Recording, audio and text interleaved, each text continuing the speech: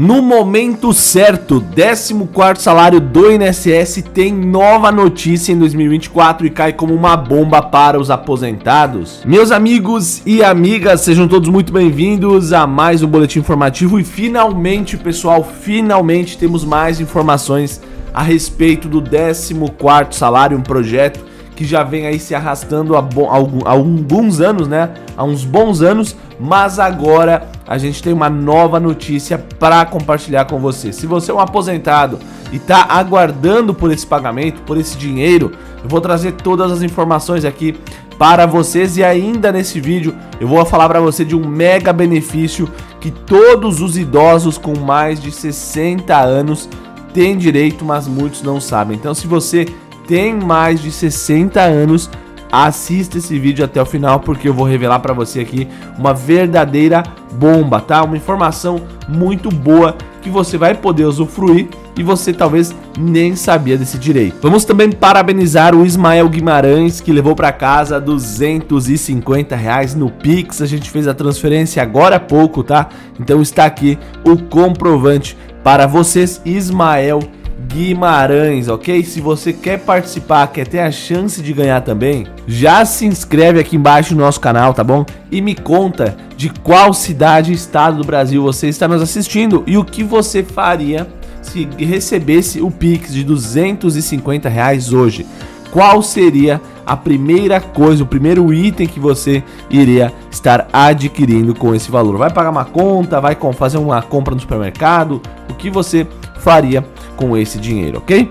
Pessoal, vamos lá então para as informações sobre o 14 salário, esse projeto que muitos de vocês aguardam, muitos já nem acreditam mais que tem chance de ser aprovado, por mais que a gente está mostrando para vocês aqui que todas as semanas estão saindo aí atualizações, informações, notícias a respeito do 14, muitos aposentados já não acreditam mais, porque é um projeto que realmente já são ali três anos que estão ali sendo discutidos, o 14 se encaminhando agora para o quarto ano de, desde a criação do projeto de lei 4367. Mas preste atenção no que essa notícia da TV Foco está falando. Senado crava nova notícia sobre 14 salário do INSS em 2024.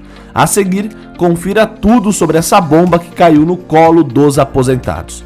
Pessoal, 14 salário do Instituto Nacional de Seguro Social tem sido um assunto muito comentado nas redes sociais. Recentemente, uma nova notícia caiu como uma bomba para os aposentados. Eu vou trazer essa informação para vocês. Para quem não sabe, trata-se da existência de um projeto de lei, que é o projeto 4367, que visa assegurar aos beneficiários do INSS um abono além do 13º salário referente aos anos de 2020 e 2021.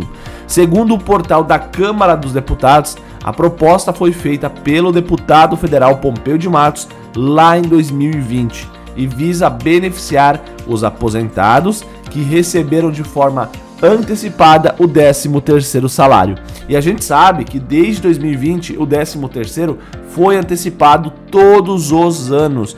2020 foi antecipado, 2021 foi antecipado, 2022 foi antecipado, 2023 novamente antecipado, agora com o governo Lula, e 2024 muitas pessoas não acreditavam que seria antecipado novamente e resultado foi antecipado mais uma vez. Então, pessoal, uh, esse projeto do 14 ele vem como uma forma de botar um ponto final nessas antecipações do 13 terceiro. Um ano que paga o 14 acaba com a necessidade de antecipar os próximos anos do 13 terceiro. Conta aqui embaixo se você é favorável ao 14 quarto ou se você prefere continuar recebendo todos os anos o seu 13º antecipado. A opinião de vocês é muito importante, então deixa lá aqui embaixo nos comentários. Vamos seguir aqui. A proposta segue em tramitação na Câmara dos Deputados até hoje e o governo destaca a falta de orçamento para liberar esse benefício. É sempre a mesma desculpa. Sempre que é um benefício em prol dos aposentados, o governo fala o quê? Não temos dinheiro, nosso orçamento está apertado. Enfim, Sempre a mesma conversa. Os aposentados estão cansados disso. Então o governo ele começou a fazer um mega pente fino no INSS, tirando os benefícios assistenciais irregulares, agora mirando também outros benefícios previdenciários. Enfim, o governo está abrindo espaço no orçamento para 2026 será chegar e pagar o 14 e garantir a reeleição do Lula? Esse é um questionamento que eu já venho fazendo há um bom tempo para vocês. Porque se a desculpa do governo sempre foi espaço no orçamento, agora o governo vai ter sim esse espaço no orçamento por conta de todos esses cortes que o Pente Fino está realizando. Então, o 14 vai ter um espaço para pagar ele? Você acredita nessa teoria? Deixa também aqui embaixo nos comentários para a gente saber o que vocês estão pensando. Pessoal, olha só, o 14º salário do INSS é um dos benefícios mais aguardados pelos aposentados. A proposta segue sendo analisada desde 2020, ainda em tramitação, mas o benefício não está em vigor ainda. Mas o Senado deu sim novas notícias agora em 2024 sobre a liberação do benefício. Pessoal, o Senado Federal publicou, certo? A informação no seu site. Não é pouca coisa. Eu vou compartilhar com vocês aqui para que vocês saibam a verdade. Diferente de outros canais aqui no YouTube, a gente quer a verdade em primeiro lugar, ok? Então prestem muita atenção aqui. Conforme o portal do Senado, recentemente começou a circular nas redes sociais que o 14º salário para os beneficiários do INSS seria votado. No entanto, essa informação não é verdadeira. Para chegar no Senado Federal, tá? Tem que passar por todos os trâmites na Câmara dos deputados. Só depois vai para o Senado. Então, muita atenção aonde você se informa, tá? O Senado fez essa nota falando: olha, pessoal, esse projeto não chegou no Senado ainda. Ele está na Câmara dos Deputados, então cobrem dos deputados e não dos senadores. Assim que o projeto chegar no Senado, a gente vai sim cobrar os senadores, ok? Então não confundam as coisas tá? Essa informação nova cai como uma bomba para os aposentados, porque muitos estavam acreditando que o projeto já estava no Senado Federal, quando na verdade, tá, não está, está na Câmara dos Deputados ainda em tramitação. Compartilhem esse vídeo para que mais aposentados vejam, para que mais pessoas saibam a verdade sobre o 14º. E agora eu quero deixar aqui para vocês um convite. Na descrição do vídeo tem o nosso link do grupo do WhatsApp. Eu peço para você entrar aqui, tá? O link tá aqui embaixo. Entre no grupo no WhatsApp, link na descrição. E para finalizar o vídeo, eu vou falar para você o seguinte: quem entrar no grupo, logo logo nos próximos dias, nas próximas semanas, nós vamos estar liberando uma mega novidade. Eu tenho certeza que você que passa por problemas financeiros, com dívidas, falta de dinheiro, você vai ser muito, mas muito beneficiado entrando no nosso grupo aqui embaixo link na descrição. E agora, como eu prometi para vocês no começo do vídeo, meus amigos, eu vou deixar um vídeo explicando para vocês de um benefício que todo mundo que tem mais de 60 anos tem direito, mas nem todos sabem. Então, confere aí.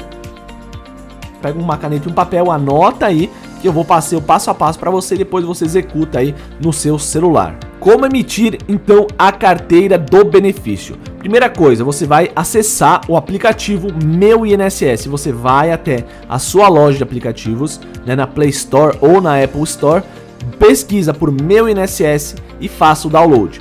Depois você vai entrar com sua conta gov.br e clicar no item Carteira do Beneficiário. Selecione uma foto para a carteira do beneficiário clique no quadrado informando que está ciente que ao apresentar a carteira, os dados do benefício serão compartilhados através do QR Code e em seguida clique em continuar, tá? A carteira do benefício ficará disponível. Por fim, nos próximos acessos, a carteirinha vai estar acessível.